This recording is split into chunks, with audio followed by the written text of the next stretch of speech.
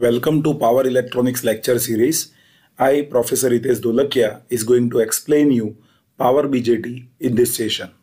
So to understand Power BJT, these are my session outlines where first I'll explain you basics of Power BJT where we will discuss what is the difference in between Power BJT and normal BJT and few more basics that I'll discuss over here with basics of Power BJT after that, I'll explain you structure of Power BJT and in structure, I'll explain why Power BJT handles more power compared to normal BJT.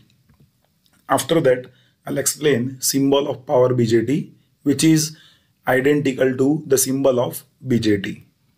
After that, I'll explain modes of Power BJT and VI characteristics of Power BJT. So there are four modes of power BJT and along with those four modes we will see VI characteristics of power BJT and then after at the end I'll sum up this session by explaining applications of power BJT.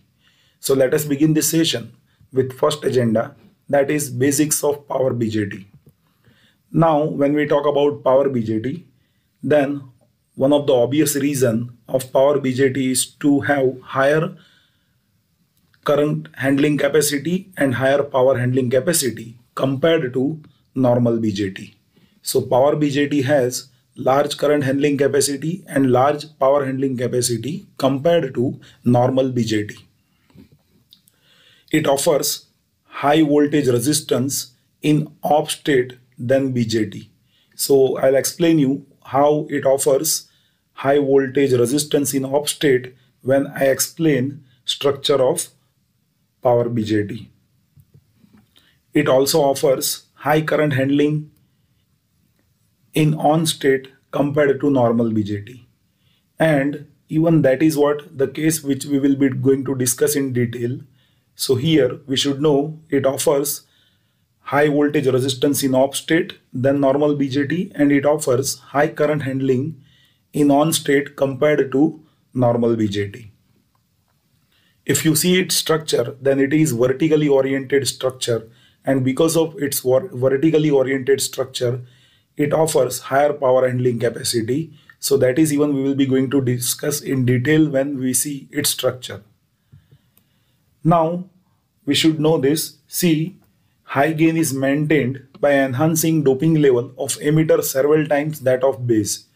So in its structure, you'll be observing emitter is having higher doping concentration and that is what we are doing it to maintain high current gain. So when you increase doping concentration of emitter compared to base in that case we can increase higher current gain and when you do this at that time you will be observing it will be in it will be decreasing beta current gain beta is IC by IB. So collector current divided by base current that is what beta. So that is that will decrease in power BJT as you increase more doping in emitter. So basically in power BJT our agenda is to increase current handling capacity and that we do it by increasing doping concentration in emitter. And here by providing vertically oriented structure we increase its off-state voltage blocking capacity. We do it by in adding additional layer so that I'll show you it that I'll show you it in structure so it will be more clear. So it handles more current. So it has large metallic body to dissipate power as a heat. So as name indicates it is power BJT so it handles more current and as it handles more current it needs large metallic body to dissipate power as heat. So this is all about basics of power BJT where power BJT offers high voltage resistance in off state compared to BJT. It offers high current handling compared to on state BJT. It is having vertical oriented structure and that structure provides these facilities and over here we can increase current handling capacity by enhancing doping level in emitter compared to base and as we do this we increase current gain but at that time beta IC by IB will decrease and as it handles more current there has to have large metallic body to dissipate power as heat. So these are the basics which is there with power BJT. Now let us see the structure of power BJT so it will be clear like how it offers higher current handling capacity and how it has higher voltage blocking capacity in off state. So if you see its structure, you can observe this is emitter, this is collector and this is base. Emitter that is having N plus region, collector that is having N plus region and base is having P region and here additional N minus layer that we are adding. Now additional N minus layer that is referred as drift layer. And here you can observe there are two differences which is there with power BJT compared to normal BJT. In normal BJT, there will be NPN structure. But here in power BJT, one difference is there is N plus P N minus N plus layer. So see, instead of N, we use N plus layer in power BJT. So this is one difference. We use higher doping at collector and emitter side compared to normal BJT, which increases its higher current handling capacity. But at the same time, you will be observing current amplification gain beta that is IC by IB that will decrease. And second difference is additional N minus drift layer. So as you add additional N minus drift layer, this structure of power BJT will offers higher off state voltage blocking capacity. Now you see when you add this N minus layer, it will increase width of depletion region, region in reverse bias. So when this junction is in reverse bias, because of this n minus layer, there will be additional voltage blocking capacity which will be there with this power BJT structure. So in power BJT structure, there are two difference compared to normal BJT. One is emitter and collector is having n plus region. This is what the diagram which I have explained for NPN transistor. So emitter and collector is having n region which is highly doped. So it is n plus region over here and second difference is n minus region that is drift layer. So it has n minus additional region that is collector drift region and because of this collector drift region it will be having higher voltage blocking capacity compared to normal BJT. So here when this BJT is in off state it will be providing facility of higher blocking voltage capacity and when this BJT is in on state there will be higher handling current capacity because of n plus higher doping that we are adding at emitter and collector side in case of NPN transistor. So this is how structure of normal BJT and power BJT is different and because of this additional features which we added in normal BJT, this BJT which is power BJT that handles more voltage and more current. So ultimately it handles more power.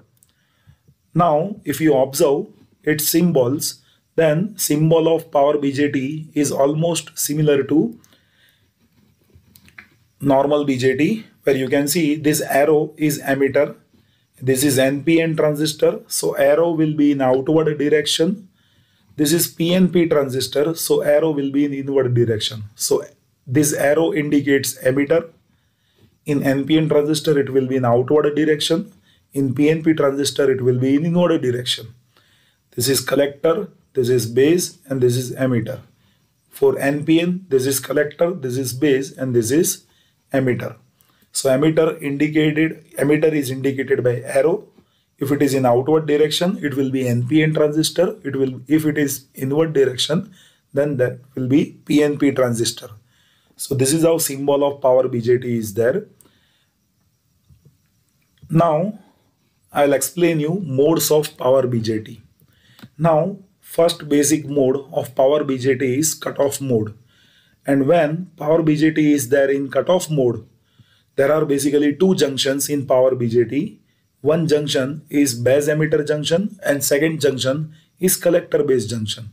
And for cutoff mode, base emitter junction and collector base junction will be in reverse bias. So in cutoff mode, base emitter and collector base junction will be there in reverse bias. When we talk about active mode, in that situation, base emitter junction will be there in forward bias and collector base junction that will be there in reverse bias. So in active mode, base emitter junction that will be there in forward bias and collector base junction that will be there in reverse bias. When we talk about saturation region, then there are basically two saturation region in power BJT. In normal BJT, there will be only one saturation region, but in power BJT, there are two saturation region. One is quasi-saturation region and second is hard saturation region. In both of this saturation region, you will be observing base emitter and collector base junction will be in forward bias. But quasi-saturation region offers lower power working of saturation with power BJT while hard saturation region explains higher power working with given power BJT. So when power BJT is working with higher power at that time in saturation there will be hard saturation and when power BJT works in lower power with saturation mode at that time it will function with quasi-saturation. In normal BJT, there will be three different modes, cutoff, active and saturation. This polarity of junction that will remain same for both of the situation, but only difference is in power BJT, it has two different saturation. Quasi-saturation offers lower power handling capacity and hard, hard saturation offers higher power handling capacity in saturation of power BJT where with saturation base emitter and collector base junction will be there in forward bias. Now let us try to understand all these modes in its VI characteristics so it will be more clear to all of you. So as if you observe its VI characteristics then you can observe see this is what hard saturation where in this saturation all will happen is like with little with little change in collector to emitter voltage. You see this characteristic that is there in between collector current to voltage in between collector emitter. So collector emitter voltage with respect to collector current graph is there where this graph is plotted with respect to different base currents right? So here you will be observing ib is less than 0 ib is equals to 0 then we increase ib right gradually. So here let us try to understand hard saturation. Now see in hard saturation if even if you increase little bit base current collector current will increase very sharp you can see right? Where here you can see in horizontal axis there is voltage which is collector emitter voltage so even if you increase little collector emitter voltage collector current will increase very sharply with respect to base current. So this is hard saturation. But when we talk about quasi-saturation, so in quasi-saturation, this slope is bit less compared to hard saturation where this quasi-saturation functions at lower power. So that is only the difference in between these two.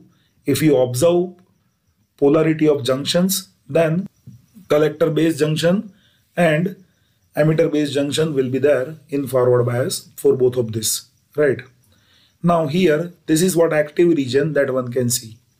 Now see in this active region one thing that we can clearly notice with respect to base current collector current is increasing.